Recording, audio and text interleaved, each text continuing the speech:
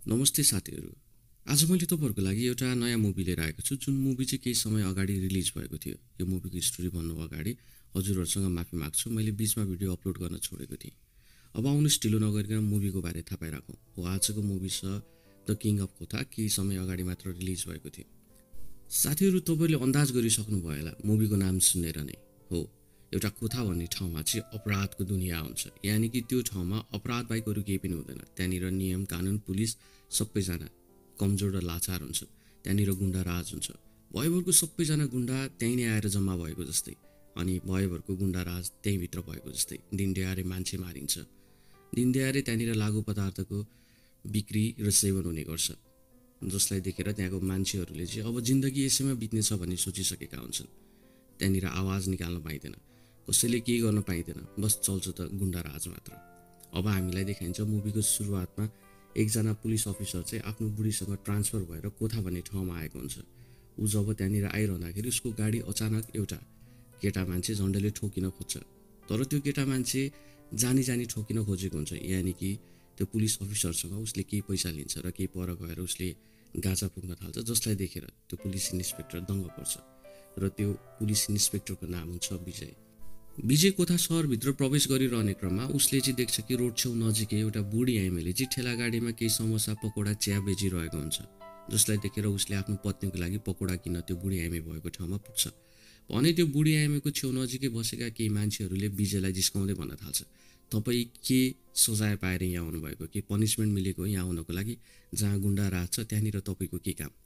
जसलाई सुनेर विजयले अब उत्तर दिँदै भन्न थाल्छ हो म पनिसमेन्ट पाएर नै यहाँ आएको र यो पनिसमेन्ट म आफैले रोजेको हुँ भने। जसलाई सुनेर त्यो बुढी आइमे पनि दङ्ग पर्छ भने उसलाई जिस्काउने ती केटा मान्छेहरू पनि निशब्द हुन्छन्। अब हामीलाई रातको समयमा देखाइन्छ विजय आफ्नो घरमा बसिरहँदाखेरि तारा नाम गरेको केटीले दुई चारजना आइमे पनि उसँगै लिएर आउँछ र विजयसँग सहयोग माग्छ र भन्न थाल्छ। यो सहरमा लागु पदार्थको बिगबिकी भएको छ। यहाँनिर अब यो सहरमा जति पनि यङ जेनेरेसनहरू छन् जति पनि युवाहरू छन् उनीहरूले दुइटै काम गर्न जानेको छ एउटा नसा लिनु अर्को मृत्युलाई पर्खेर बस्नु। र यसको लागि तपाईँको हेल्प चाहिएको छ र यो न लागु पदार्थ बेच्ने मान्छे कन्नन हो भनी सुनाउँछ। जसलाई सुनेर विजयले अब उनीहरूलाई सान्त्वना दिँदै भन्न थाल्छ। म यो सबै हटाउनको लागि नै यहाँ आएको अब यहाँनिर गुन्डा राज हट्छ लागु पदार्थ पनि म हटाउनेछु क्लिन गर्नेछु। यति भनेर विजयले तारा र उसको साथीहरूलाई घर पठाउँछ भने भोलिपल्ट विजयले अब आफ्नो ड्युटी जोइन गर्छ र त्यहाँ भएको पुलिस अफिसरहरूसँग कुराकानी पनि गर्छ र उसले त्यहाँनिर रजिस्टर पनि चेक गर्छ। जहाँनिर चाहिँ क्रिमिनलहरूले सिग्नेचर गर्नुपर्ने थियो भने त्यसमध्ये सातजना क्रिमिनलहरू आएका हुँदैनन् र उनीहरूको सिग्नेचर हुँदैन। यसैबिच कुरा हुने क्रममा विजयले सोध्छ कि यो सातजना मान्छेले चाहिँ किन सिग्नेचर गर्न आएको छैन भने? जसलाई सुनेर उसको साथी उसँगै काम गर्ने एउटा पुलिस अफिसर जसको नाम हुन्छ टोनी उसले बताउँछ कि यो कन्ननको मान्छेहरू र कन्ननले नै हामीलाई उसकै क्लबमा आएर सिग्नेचर लिनको लागि भनेको छ।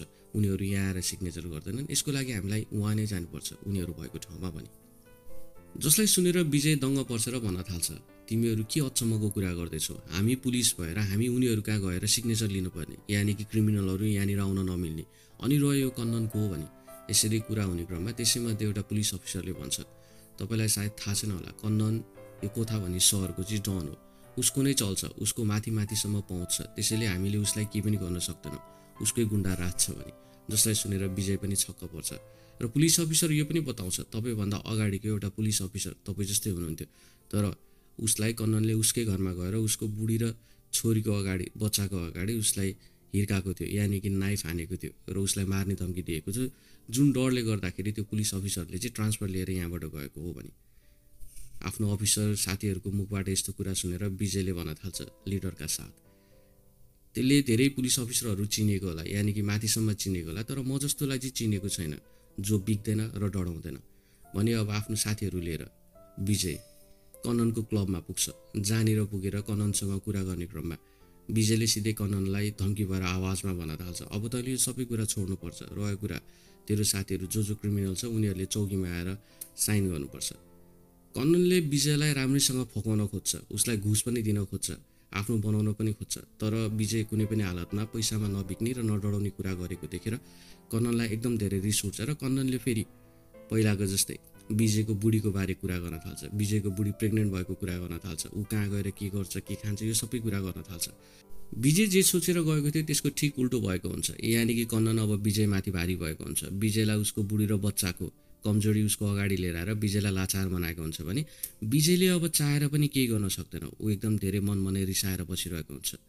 भने अब हामीलाई देखाइन्छ टोनीले चाहिँ विजयलाई भनिरहेको हुन्छ तपाईँ यहाँबाट जानुहोस् तपाईँ बालबच्चा भएको मान्छे। मैले भनेको मान्नुहुन्छ नि यो सहर छोडेर फर्कनुहोस्। तपाईँले कन्ननसँग दुश्मनी लिनुभएको छ भने। तर विजय भन्न थाल्छ म जसरी भए पनि यसलाई निस्त नामुद गर्नेछु। यसको म पुरै दादागिरी यो सहरबाट हटाउनेछु। विजयको मुखबाट यस्तो कुरा सुनेर टोनीले अब विजयलाई भन्न थाल्छ। कनन त भर्खरै भर्खर डन बनेको हो। कननको भर्खरै सिक्का चल्न थालेको। कननभन्दा पहिला अरू कोही नै डन थियो यहाँको। आउनुहोस् म तपाईँलाई कोथा सहरको बारे केही कुरा बताउँछु भनेर रातको समयमा टोनीले अब विजयलाई आफूसँगै बाहिर लिएर आउँछ। र उसले ठेला गाडीमा चिया र समोसा पकौडा बनाइरहेको त्यो बुढी आमालाई देखाउँदै भन्न थाल्छ। यो बुढी आमाको नाम हो कालीआम्बा। र यो काली आमा कन्ननको आमा हो जसलाई सुनेर विजय दङ्ग पर्छ। अनि टोनी फेरि बताउन थाल्छ। काली आमा र कन्नन सबैजना एउटै घरमा बस्ने गर्थे। तर कन्ननको बुढीले काली आमालाई मनै पराउँदैन थियो त्यसैले उनीहरूले काली आमालाई घरबाट निकालिदिएको जसले गर्दाखेरि काली आमा यही ठेला गाडीमा आफ्नो जीवन चलाउने गर्छन्। भन्दै अब उसले केही पर लगेर कोथा सहरमा रहेको एउटा फुटबल क्लब हाउस देखाउँछ जसको नाम हुन्छ म्याराथुना। र टोनी यो पनि भन्न थाल्छ कि कुनै समयमा यो क्लब हाउसमा हामीहरू बस्ने गर्थ्यौँ। हामीले चलाउने गर्थ्यौँ। हामीलाई फुटबल एकदम धेरै मन पर्थ्यो म कन्नन मेरो साथीहरू र राजु पनि यहीँ थियो। राजु हाम्रो टिम लिडर थियो। हाम्रो बोस थियो। हो। कुनै समयमा राजु डन थियो यहाँको। यो सहर राजुको नामबाट चल्ने गर्थ्यो। राजु भनेपछि हर कोही डराउँथे। र राजुलाई सानैदेखि डन बन्न मन लाग्थ्यो। किनकि उसको बाबु पनि कुनै समयमा यो सहरको डन थियो जसको नाम थियो रवि। र राजु आफ्नो बाउको नक्से कदममा चल्न चाहन्थ्यो। भने राजुको आमालाई चाहिँ राजु आफ्नै बाउको बाटो हिँडेको देखेर पटक्कै मन पर्दैन थियो। त्यसैले राजुलाई उसले घरबाट निकालेको थियो। यति भन्दै केही पर गएर एउटा बुढो मान्छे कपडा सिलाइरहेको देखाउँदै भन्न थाल्छ हो उनी हो राजुको बाउ। कुनै समयमा डन थियो। अहिले ऊ सुध्रेर सबै काम छोडिदिएको छ र ऊ सिधा बाटोमा लागेको छ भने। जसलाई सुनेर अब विजय दङ्ग पर्छ र भन्न थाल्छ राजु अहिले कहाँ छ त भने।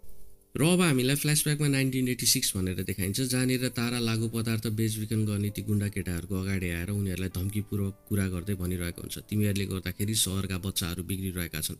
तिमीहरूले अब पनि यो काम बन्द गरेनौ भने मैले तिमीलाई जानेको छु भनेर।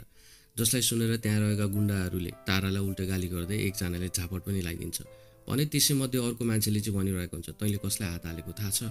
तैँले राजुको गर्लफ्रेन्डलाई पिटिस भने? हो नभन्दै। ताराले यसरी पिटाइ खाएको भएर राजु त्यहाँ आइपुग्छ र ती लागु पदार्थ बेच्नेहरूलाई धोबी चुट्न थाल्छ। यानि कि राजु त्यो कुनै पनि काम त्यो सहरमा हुन दिन चाहन्न जुन कुराहरू तारालाई मन पर्दैन थियो। यानि कि ताराको भाइ पनि कुनै समयमा यसै दुर्व्यसनीमा फसेर मरेको हुँदो रहेछ जसले गर्दाखेरि तारा यो सहरमा लागु पदार्थ सेवन गर्ने बेचबिखन गर्ने त्यस्तो कुनै पनि एक्टिभिटिजहरू हुन दिन चाहन्न। राजु एउटा गुन्डा थियो तर उसले लागु पदार्थ बेच्ने लागु पदार्थ खाने मान्छेहरूलाई पनि घृणा गर्ने गर्थ्यो। किनकि राजुको काम भनेको हप्ता वसुल गर्नु मान्छे मार्नु लुला लङ्गाडा बनाउनु यस्तै कुराहरू मात्र उसले गर्ने गर्थ्यो। भने अब राजुले जो मान्छेलाई पिटेको थियो त्यो रन्जित नाम गरेको एउटा मान्छेको काम गर्नेहरू हुन्छ। यसरी आफ्नो मान्छे यसरी मारिदिएको कारण रन्जितलाई एकदम धेरै रिस उठ्छ र भन्न थाल्छ। हिजोको चल्ला आज ठुलो भएर हामीलाई नै टाउकोमा टेकिरहेको छ। र उसको साथीहरूले पनि रन्जितलाई भड्काउँदै भनिरहेको हुन्छ। हामीले यसलाई ठिक पारेनौँ भने भोलि पर्सि हामीलाई शुद्ध यसले असर गर्न सक्छ भने जसलाई सुनेर रन्जितले भन्न थाल्छ। त्यो बच्चालाई त्यसकै ठाउँमा गएर हान्नुपर्छ। त्यो बच्चा मेरो आँखा अगाडि भए नभएर मात्र होइन भने मैले जानेको थिएँ यस्तै कुरा गरिरहँदाखेरि राजुको फोन आउँछ र नभन्दै राजु अब उनीहरूको अड्डामा प्रवेश गर्छ जसलाई देखेर रन्जित पनि दङ पर्छ। साँचो कुरा भन्नुपर्दाखेरि रन्जित पनि राजु देखेर एकदम धेरै डराउँछ। उसले आफ्नो साथीहरूको अगाडि जति ठुलो कुरा गरे पनि बासे पनि। अब राजु सिधै आएर रन्जितलाई भन्न थाल्छ। तँलाई लाग्यो होला म डढाएर लुकेर बस्छु भने म तेरै अड्डामा आएको छु। ल गर के गर्न सक्छस् तैँले भने। रन्जितले भन्न थाल्छ कुनै समयमा तेरो बाउ डन थियो र तेरो बाउलाई मैले मान्ने गर्थेँ त्यसैले गर्दाखेरि मैले तँलाई केही गर्न सक्दिनँ भने। हुन चाहिँ भित्रबाट रन्जित डढाएको हुन्छ। तर यही कुरा सुनेर राजु अब हाँस्दै रन्जितलाई थर्काउँदै भन्न थाल्छ। मेरो बाउ डन भएर मलाई नगरेको भन्ने कुरा चाहिँ तेरो मनबाट निकालिदिए मेरो बाउ डन थियो। अहिले होइन। अहिलेको डन म हो। अहिलेको बादशाह भनेको म हो। अनि रह्यो म डन बन्नुको पछाडि मेरो बाउको कुनै पनि हात छैन। म आफ्नै दममा डन बनेको। त्यसैले यस्तो फ्याँक्ने कुरा चाहिँ छोडिदिएँ मेरो बाउको कारण मलाई छोडेको भन्ने कुरा विचार पनि त्यागिदिएँ भनेर उल्टो धम्की दिएर त्यहाँबाट निस्कन्छ। अब हामीलाई देखाइन्छ त्यही कोथा सहरमा फुटबल टुर्नामेन्ट भइरहेको छ। त्यो फुटबल टुर्नामेन्टमा राजु राजुको साथीहरू गेम खेलिरहेका हुन्छन् भने तारा पनि त्यो गेम हेरिरहने क्रममा चाहिँ त्यसै बिचमा एकजना अन्जान मान्छे आएर तारासँग बोलिरहेको हुन्छ जसलाई रन्जितले नोटिस गरिरहेको हुन्छ। र यसैबिच अब हामीलाई देखाइन्छ राजुको एउटा सानो बहिनी छ जसलाई उसले आफ्नो प्राणभन्दा पनि धेरै माया गर्छ र उसको बहिनी राजुलाई त्यहाँनिर भेट्न आएको छ। भने यसैबिच राजुको आमा र बाउ त्यहाँनिर आएर उसको बहिनीलाई त्यहाँबाट लिएर जान्छ भने राजुलाई गाली गर्न थाल्छ। र भन्न थाल्छ आफ्नो छोरीलाई। यस्ता गुन्डाहरूसँग त भेटिस् भने तैँले झापट खान्छस् मेरो तेरो गालासाला फुटालिदिन्छु भन्दै गाली गर्दै लिएर जान्छ। आमाको यस्तो व्यवहार देखेर राजु हल्का निराश पनि हुन्छ। राजुको टिमहरूले त्यो फुटबल म्याच पनि जित्छ भने अब हामीलाई देखाइन्छ त्यसै फुटबल म्याच भइरहँदाखेरि जुन अन्जान मान्छे आएर तारासँग बोलिरहेको थियो त्यसको नाम हुन्छ अमर। अब हामीलाई देखाइन्छ अमर र तारा चाहिँ एउटा लाइब्रेरीभित्र आएर उनीहरू बिच कुरा भइरहेको हुन्छ भने अमरले चाहिँ तारालाई भनिरहेको हुन्छ त यस्तो सानो सहरमा कसरी बस्न सकेको छस्? यति धेरै पढेर पढाइ बिचमा छोडेर यो सहरमा बस्नुको कारण के हो? मसँग हिँड मलाई हेर म बाहिर गएर पढाइ पुरा गरेर आफ्नो राम्रो जीवन बिताइरहेको छु। म तँलाई सपोर्ट गर्छु म तँलाई लिएर जान्छु भने जसलाई सुनेर तारा भन्न थाल्छ। मैले जान नपाएको त होइन। तर जान पाउँदा पाउँदै पनि मैले त्यो लाइफ छोडेर यो लाइफ चुज गरेको किनकि यसै सहरले मेरो भाइको ज्यान लिएको छ। यहाँनिर रहेको लागु पदार्थ दुर् दुर्वसिनीले गर्दाखेरि मेरो भाइ मरेको कारण म यो सहर छोडेर जान चाहन्न भने। यसैबिच अब हामीलाई देखाइन्छ राजु पनि त्यहाँ आइपुग्छ। राजुलाई देखेर तारा एकदम धेरै डराउँदै अमरलाई भनिरहेको हुन्छ जति सक्दो यहाँबाट भागिहाल।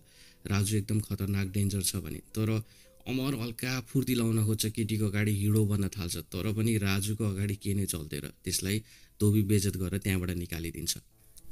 राजुले तारालाई घरमा लगेर छोडिदिन्छ भने भोलिपल्ट बिहान हामीलाई क्लब हाउसभित्र देखाइन्छ जहाँनिर राजु उसको साथी टोनी कनन सबैजना बसिरहेका हुन्छन्। यसैबिच कननले राजुलाई लोभ देखाउँदै भन्न थाल्छ अब हाम्रो बिस्तारै खर्च पनि बढ्दैछ हामीलाई धेरै पैसा पनि चाहिन सक्छ। यसरी हामीले काम गरेको हिसाबले पैसा खासै बनाउन सक्दैनौँ। त्यसैले रन्जितलाई हेर्दा रन्जितले लागु पदार्थको बिजनेस गरेर कति धेरै पैसामा खेल्ने गर्छ। हामी पनि त्यही बिजनेस गरौँ न भने जसलाई सुनेर राजुले सिधै अस्वीकार गर्छ र भन्न थाल्छ लागु पदार्थको बिजनेसको बारे चाहिँ नसोचेर केटा यो कुरा चाहिँ काममा सुकाइदिए अनि रहेको कुरा तारालाई पनि यो कुरा मन पर्दैन। राजुको मुखबाट यस्तो कुरा सुनेर कननलाई हल्का नरमाइलो लाग्छ र राजुलाई भन्न थाल्छ त हरेक कुरा ताराले मन नपर्ने जति गर्न मिल्दैन भनेर नभन्न। ताराले किन गर्ने हो र? हामीले गर्ने हो भने। जसलाई सुनेर राजु फेरि कननलाई सम्झाउँदै भन्न थाल्छ। एक दिन साँचो मायामा परेर हेर अनि तँलाई थाहा हुन्छ। अनि रहेको कुरा तारालाई मन नपर्ने त्यो कुनै पनि काम गरिन्न। यानि कि कन्ननले अब चाहेर पनि केही गर्न सक्दैन किनकि कन्नन पनि राजुसँग एकदम धेरै डराउँछ।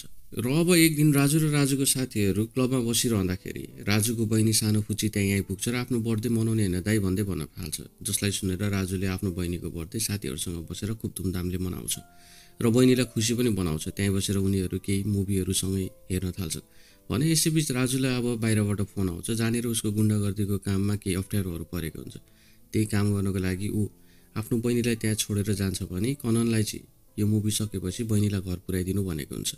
जसलाई सुनेर कननले मुभी सकेपछि राजुको बहिनीलाई घर पुऱ्याउने क्रममा राजुको आमा त्यही क्लब अगाडि आइपुग्छ।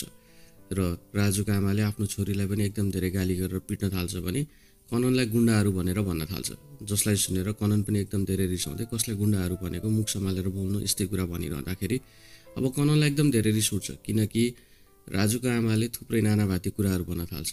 जसकारण कननले राजुको आमालाई थप्पड लाउने बेलामा यसैबिच राजुको बाउ त्यहीँ आइपुग्छ र कननको हात समाएर उल्टै तिनीहरू बिच त्यहाँनिर फाइट पर्न थाल्छ।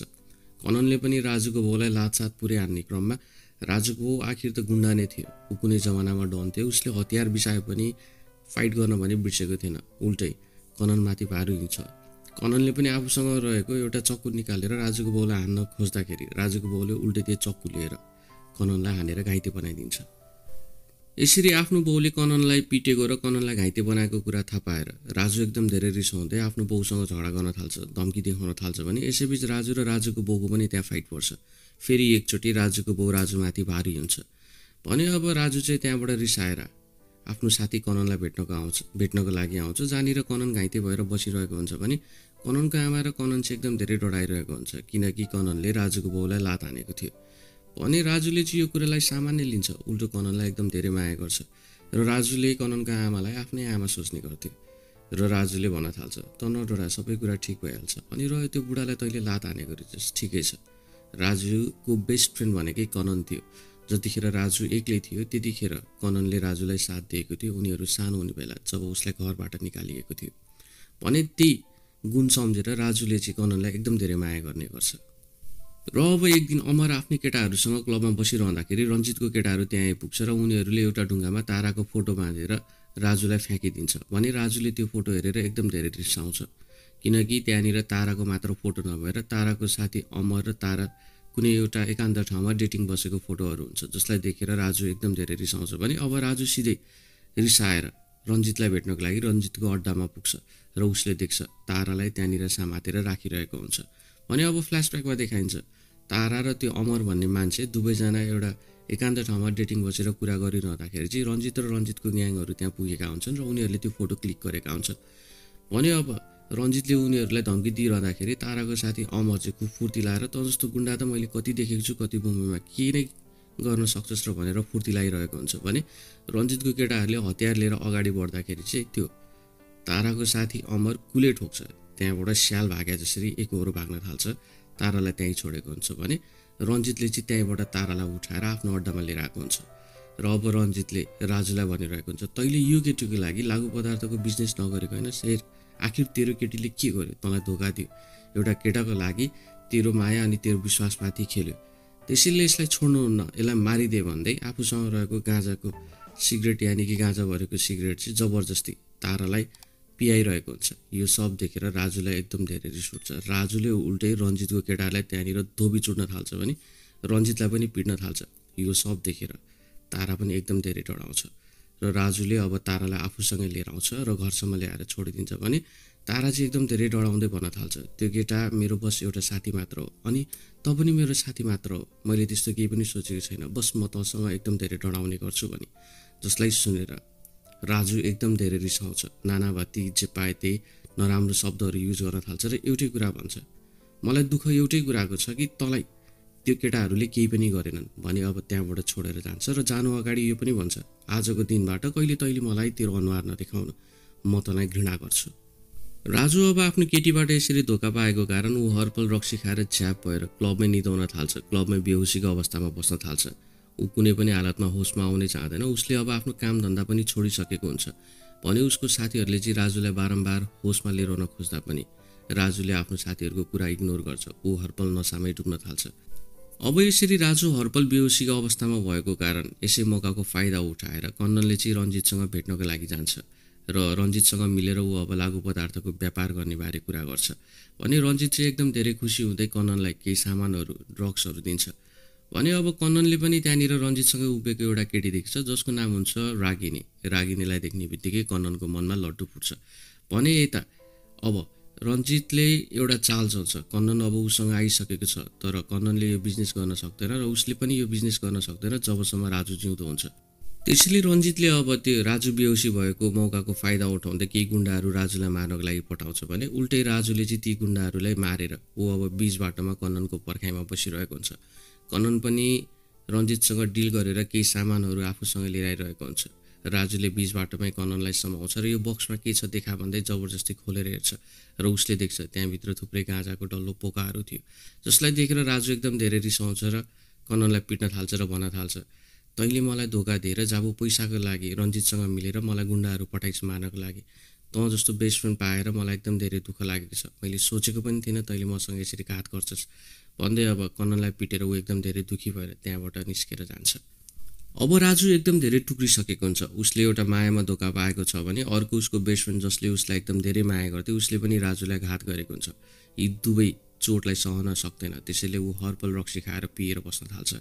यो कुरा चाहिँ अब राजुको आमाले देखिरहेको हुन्छ र ऊ राजुको आमालाई लाग्छ। यसरी आफ्नो छोरा हर्पल रक्सीमा डुबेर बस्ने हो भने यसको ज्यान बस्नेवालामा छैन। यो यसै पनि मर्छ त्यही माथि यो बेहुसी अवस्थामा बस्दाखेरि यसको दुश्मनहरूले यसलाई पनि मारिदिन्छ। भनेर अब राजुको आमाले चाहिँ राजुलाई यो सहर छोडेर जानको लागि भन्छ भने राजुले चाहिँ उसको आमाको कुरै सुन्दैन उल्टो आमालाई गाली गर्दै नाटक नगर भन्न थाल्छ। र राजुको आमाले अब एउटा चाल चल्छ किनकि राजुले आफ्नो बहिनीलाई एकदम धेरै माया गर्ने गर्छ। त्यसैको आधार दिँदै भन्न थाल्छ तँ यहाँ भइरहेछ भने तेरो बहिनीको जीवन पनि बर्बाद हुनेछ। एउटा गुन्डाको बहिनी भनेर तेरो बहिनीमाथि अब धेरै कुराहरूको समस्या आउन सक्छ। त्यसैले तँ तेरो बहिनीलाई माया गर्छस् भने मैले भनेको मान यो सहर छोडेर जा। र तँ कहाँ जान्छस् के गर्छस् मलाई मतलब छैन। बस त कहिले फर्केर यो सहरमा नआइछु भन्छ। जसलाई सुनेर राजुले कोठा सहर सधैँको लागि छोडेर टाढा गइदिएको हुन्छ। भने अब यो सबै कुरा सुनिसकेपछि विजयको दिमागमा एउटै कुरा चल्छ। कन्ननलाई यदि निस्तनामुद गर्नु छ भने कननको राजलाई हटाउनु छ भने राजु ब्याक हुनु जरुरी छ। त्यसैले उनीहरूले राजुको बारे खोज तलास गर्न सुरु गर्छन्। र उनीहरूले थाहा पाउँछन् कि राजु भन्ने नाम गरेको मान्छे चाहिँ युपीमा छ। त्यसैले अब राजुको पुरै डिटेल्स दिएर युपी पुलिसहरूलाई राजुको बारे पत्ता लगाउनको लागि भन्छ। भने युपी पुलिसले पनि राजुको बारे पत्ता लगाउँछ। अब यता विजयको दिमागमा अर्को एउटा आइडिया चल्छ। यानि कि राजुको बहिनी ऋतुलाई। कन्ननको सालाले चाहिँ धेरै नै दुःख दिइरहेको हुन्छ। यानि कि कन्ननको सालाले ऋतुलाई एकदम धेरै मन पराएको हुन्छ।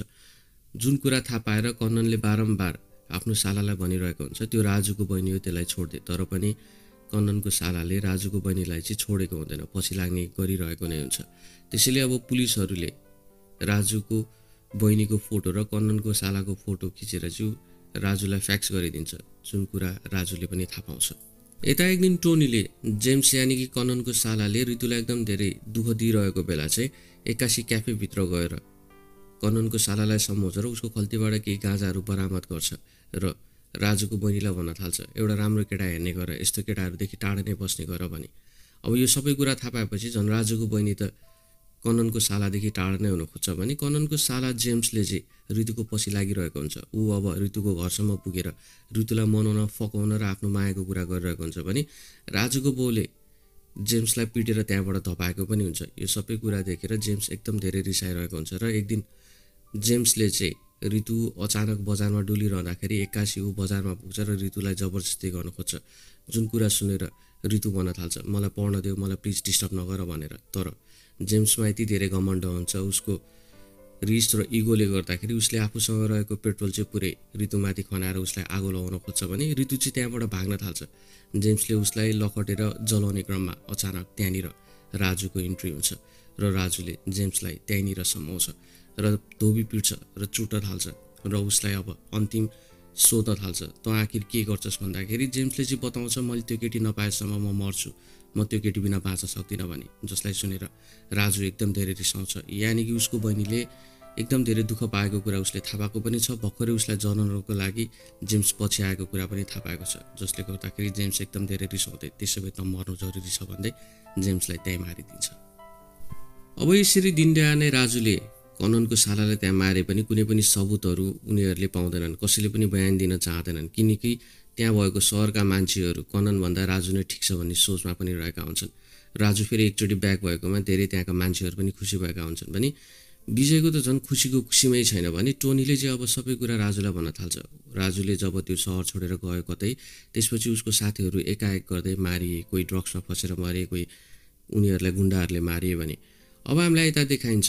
कन्दनको बुढी एकदम धेरै रिसाएको छ। रागिनीले भनिरहेको छ कि मलाई जसरी भए पनि बदला लिनु छ। तेरो साथी राजुलाई मार्न जरुरी छ किनकि त्यसले तेरो सालोलाई मारेको छ भने। अनि कन्नन चाहिँ अब केही गर्न सक्दैन चाहेर पनि तर पनि उनीहरू अब मिटिङ हुन्छ। मिटिङ हुने क्रममा चाहिँ कन्ननले अब राजुलाई मार्छु भनेर अघि बढेर कुरा गरिरहने क्रममा चाहिँ त्यहाँनिर दुईजना बिच बेस्ट फ्रेन्डको कुरा पनि हुन्छ। र एक्कासी कननलाई फोन आउँछ र कननले थाहा पाउँछ राजु जति खतरनाक यहाँ भएर निस्केको थियो ऊ झन् अर्को सहरमा गएर योभन्दा खतरनाक भएर आएको छ। जसले गर्दाखेरि कननले अब राजुलाई मार्ने बारे सोच्न केही बेरको लागि छोडिदिन्छ। राजु अब आफ्नो घरमा पुग्छ र आफ्नो बहिनीसँग उसले भेट्छ र बहिनीलाई नडराउनको लागि भन्छ भने राजुको आमा पनि मरिसकेको हुन्छ। जुन कुरा राजुको बाउले मर्नु अगाडि उसको आमाले लेखेको चिठी राजुको हातमा थमाउँछ। भने अब यता पुलिसले चाहिँ राजुलाई भनिरहेको हुन्छ अब एकदम धेरै चराखो भएर बस्नु किनकि तैँले कन्ननको सालालाई मारेको छस्। मैले भनेको मान्छस् भने तैँले कन्ननलाई मारिदिनु। तैँले जति पनि अहिले मान्छेहरू मारेको छस् हामीले केही पनि तमाथि केस लगाएको छैन भने। यो सब कुरा सुनेर राजु भन्न थाल्छ कन्नन मेरो बेस्ट फ्रेन्ड हो मैले त्यसलाई मार्नेको बारे त सोच्दा पनि नसोच। र मलाई यो कुरा गर्दा पनि नगर भने। अब यता रागिनी चाहिँ एकदम धेरै रिसाइरहेको हुन्छ। राजुले दिउँसै सहरको बिचमा त्यत्र मान्छेहरूको बिचमा आफ्नो भाइ मार्दाखेरि पनि पुलिसहरूले राजुलाई नसमातेको भएर भने रागिनी चाहिँ बदला लिनको लागि अब उसले आफ्नै गुन्डाहरू लगाउन थाल्छ। राजुले पनि रागिनीले पठाएका ती गुन्डाहरूलाई बारी बारी गर्दै मार्न थाल्छ। भने अब रागिनी एकदम धेरै रिसाउँदै आफ्नो बुढा कन्ननलाई भन्न थाल्छ। त त एक नम्बरको नामर्द रहेछस्। तँमा केही पनि हिम्मत रहेनछ। कुनै जमानामा त मेरो लागि हजारौँ मान्छे मार्न तयार हुन्थिस् तर आज चाहिँ अब एउटा राजुलाई मार्न सकिनेस् भने। कनन पनि भन्न थाल्छ म तेरो लागि लाखौँ मान्छे मार्न सक्छु तर आफ्नो साथी बेस्ट फ्रेन्डलाई मार्न सक्दिनँ भने। तर रागिनीले अब कन्नलाई भन्न थाल्छ। ठिकै छ तैँले यदि राजुलाई मारिनस् भने त मसँग कहिले पनि सँगै बेडमा नआउनु। तैँले जुन दिन राजुलाई मार्छस् त्यही दिनै तँ र म एउटै बेडमा हुनेछौँ भने। अब यो कुरा सुनेर कन्नन राजुलाई भेट्नको लागि एउटा होटलमा जान्छ। उनीहरू दुवैजना सँगै रक्सी पिउन थाल्छ र कन्ननले राजुलाई भन्न थाल्छ। तँलाई थाहा छ मेरो बुढीले मलाई यस्तो यस्तो भनेको छ। तँलाई नमारेसम्म ऊ मेरो हुँदिन भनेको छ। जसलाई सुनेर राजुले भन्न थाल्छ अब त के गर्छस् त मलाई मार्छस् भने। कन्ननले भन्न थाल्छ। म तँलाई मार्न सक्दिनँ। तँ मेरो बेस्ट फ्रेन्ड हो। तँलाई थाहा छ त यो सबै कुरा। अनि र तैँले आजकल हतियार हिँड्छ बोकेर हिँड्छस् कि हिँड्दैनस् भने? जसलाई सुनेर राजु भन्न थाल्छ। हतियार बोक्न मलाई अल्छी लाग्छ। हतियार बोक्नमा कुनै पनि मजा छैन भने। अब कन्नन त्यहाँबाट फुल झ्याप भयो जस्तो गरेर निक्लिएर जान्छ र राजुलाई राम्रोसँग बस्नको लागि भन्छ भने। यो सबै चाल थियो। ऊ होटलबाट बाहिर निस्किने बित्तिकै राजुको एउटा अर्कै एउटा एन्चीलाई बोलाएको हुन्छ। जसको नाम हुन्छ सुटकेस बाबा जसले चाहिँ मान्छे मारेपछि उसको हात खुट्टा टाउको काटेर सुटकेसमा जम्मा पारेर फ्याँक्ने गर्छ। तर अफसोस जो सुटकेसले सुटकेस त्यो गुन्डाले राजुलाई मार्न गएको थियो उल्टे राजुले त्यसलाई मारेर सुटकेसमा त्यसको हात खुट्टा टाउको राखेर कतै अन्त्य फ्याँकिदिएको हुन्छ। जुन कुरा थाहा पाएर कनन पनि अब एकदम धेरै डराउँछ। यानि कि अब कननले थाहा पाइसकेको छ उसले मार्न पठाएको मान्छे राजुले मारिदिएको छ र अब कनन राजुको ज्यान पछाडि परेको छ भन्ने कुरा पनि। राजुको बाउले पनि अब राजुलाई सम्झाउँछ। यसरी गुन्डागर्दी गर्न छोड्थे मैले भनेको मान्छेस् भने तँ बिहे गर। अनि रहेको कुरा तैँले जुन दिनदेखि तारालाई छोडेर गएको छस् तारा बिहे नगरिकन त्यहीँ बसिरहेको छ। आज पनि एक्लो छ भने यो कुरा राजुले पनि सुन्छ।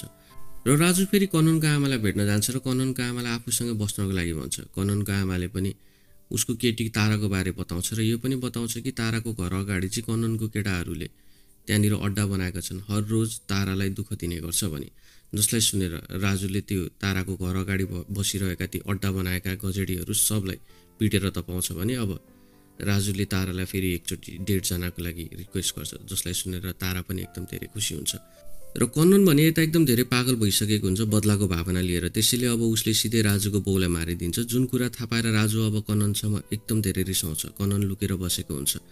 र राजु अब फेरि कन्ननको आमालाई भेट्न पुग्छ। कन्ननको आमाले पनि अब राजुलाई भन्न थाल्छ कि आफ्नो छोरा कन्ननलाई कुनै पनि दया माया नगर्नु मारिदिनु भने र ऊ कहाँ लुकेर बसेको छ थाहा पाएपछि म तँलाई बताउँछु भने। र एक दिन नभन्दै राजुलाई भेट्नको लागि कन्ननको आमाले आफ्नो घरमा बोलाउँछ। जहाँनिर राजु भेट्न पुग्दाखेरि कन्नन अलरेडी त्यहाँ पुगिसकेको हुन्छ। र कन्ननले राजुलाई पछाडिबाट हानेर बेहोस बनाइदिन्छ र उसलाई बाँधेर राख्छ। केही बेरपछि जब राजु होसमा आउँछ कन्ननले आफ्नो ग्याङहरूसहित अगाडि लिएर राधिकालाई पनि अगाडि लिएर आउँछ र कन्ननले राजुको पेटमा छुरा हान्दै भन्न थाल्छ। तँलाई कस्तो लागिरहेको छ? तँलाई थाहा छ मेरो आमाले तँलाई फसाएको भने। किनकि मेरो आमालाई मैले भनेको थिएँ हामी दुईजना मध्ये एकजना रोज भन्दाखेरि हामी दुवैजना रोजेन तर उसको बिरालोलाई जब मैले मार्न खोजेको थिएँ नि तब उसले तेरो त्याग गरिदियो भने जसलाई सुनेर राजु केही पनि बोल्दैन। भने राधिका चाहिँ अब नाना थरी कुरा गरिरहँदाखेरि राजु हाँस्न थाल्छ र भन्न थाल्छ तँलाई के लाग्छ कनन तैँले जसलाई सालो भनेर भनिरहेको थिइस् नि जुन सालो मैले मारिदिएको थिएँ त्यो तेरो सालो नभएर तेरो बुढीको छोरो थियो भने जसलाई सुनेर कनन पनि दङ पर्छ र राजु यो पनि बताउँछ मलाई तेरो बुढीको बारे सबै थाहा छ र राधिका तँ यो स्टेजसम्म कसरी आइस् त्यो पनि थाहा छ भने अब यसरी कुरा हुने क्रममा पुलिसहरू त्यहाँनिर आइपुग्छन् यानि कि उनीहरू जसरी हुन्छ राजुलाई बचाउन चाहन्छन्। भने अब कननहरू पुलिसहरूलाई रोकिरहेको हुन्छ कि उसलाई राजु कुनै पनि हालतमा नदिने भने जब उनीहरू भित्र आउँछन् राजु त्यहाँबाट निक्लिसकेको हुन्छ भागिसकेको हुन्छ। र अब पुलिसहरू कन्नन र सबैलाई लाग्छ कि राजु चाहिँ मरिसकेको छ। बस उसको लास मात्र फेला परेको छैन। कन्नन आफ्नो बुढी राधिकालाई यो पनि बताउँछ कि मलाई जहाँसम्म लाग्छ राजु मरिसकेको छ कुनै एकान्त ठाउँमा त्यो कुहिएर बसिरहेको छ। त्यसको लास किराहरूले खाइरहेको छ भने। अब केही समयपछि राजु फेरि ब्याक हुन्छ र कन्ननको एक एक गर्दै सबै साथीहरूलाई मार्न थाल्छ र उनीहरू अब जम्का भेट हुन्छ। राजु कन्ननलाई भेट्नको लागि उसकै अड्डामा आउँछ। र अब हामीले एउटा कुरा थाहा पाउँछौँ कि राजुले चाहिँ अलरेडी कननको ग्याङको एकजना मान्छेलाई आफ्नो साइडमा गरेको हुँदो रहेछ। जुन कुरा कननलाई पनि थाहा हुँदो रहेछ। र कननले त्यहाँनिर अब छुट्टै ग्याङको थुप्रै मान्छेहरू बोलाएको हुन्छ। राजुले ती सबै ग्याङका मान्छेहरूलाई मारिदिन्छ भने अब कनन एक्लै हुन्छ। कननलाई पनि दोबी चुट्छ त्यहाँनिर र कननलाई मार लाग्दाखेरि कनन बताउँछ। मलाई प्लिज नमार भने। राजु यो पनि बताउँछ। कि म तँलाई मार्दिनँ। तँलाई मार्नको लागि अरू कोही नै आउँदैछ भने। अब हामीलाई एउटा भर्खरको फुच्चे केटा देखाइन्छ। र त्यो फुच्चे केटा अरू कोही नभएर त्यो रन्जित नाम गरेको ड्रग्स डिलरको छोरा हुँदो रहेछ। यानि कि कुनै समयमा कन्ननले रागिनी पाउनको लागि उसले धोका दिएर रन्जितलाई मारिदिएको हुँदो रहेछ। भने अब त्यो फुच्चे केटाले कन्ननलाई पनि मारिदिन्छ। र अन्त्य त राजुले जुन कन्ननको ग्याङबाट एकजना मान्छे आफ्नो साइडमा बनाएको थियो त्यो मान्छेलाई पनि त्यहीँ मारिदिन्छ र भन्छ मलाई कसैको जरुरत छैन म एक्लै नै काफी छु भने। र त्यहाँबाट निस्कन्छ। मुभी यत्तिकैमा सकिन्छ।